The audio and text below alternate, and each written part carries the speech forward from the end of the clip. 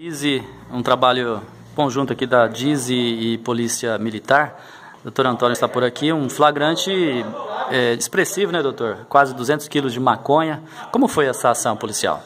É, na verdade, é mais um serviço da Dize que contou com a, apoio irrestrito, incondicional da Força Tática e da ROCAM e conseguimos aí prender o indivíduo. Infelizmente, um outro conseguiu fuga, mas aprendemos uma quantidade boa de maconha vai fazer falta aí para os usuários por algum tempo.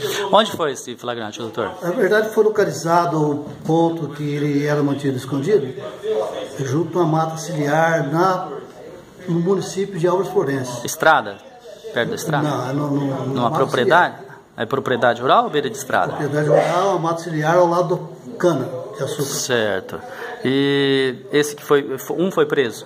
Exatamente, um está preso e é já, já Voto... vamos dar início ao flagrante. É de Votuporanga ou de outra cidade? É, os dois são de Votuporanga, o outro também já está identificado. Só que não houve condições de se segurar porque obteve fuga canavial. Do local? Vou mostrar aqui. Essa droga, sabe a procedência ou para onde ia, doutor? Sabe para onde ia essa droga, é, de onde vem? apurado aí, já investigações que vem sendo realizadas há algum tempo, ela iria ser distribuída aqui na cidade de Votuporanga e nas cidades vizinhas aqui de Votuporanga. Ela estava condicionada como? Em enterrada? Ela estava dentro de uma caixa de plástico, aquelas caixas d'água.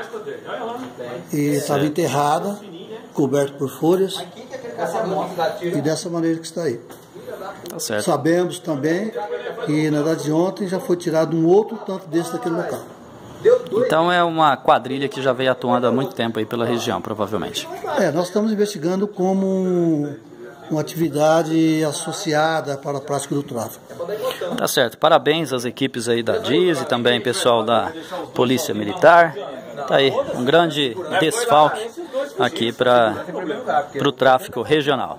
Votuporanga tudo mostra para você essa ação aqui em Votuporanga.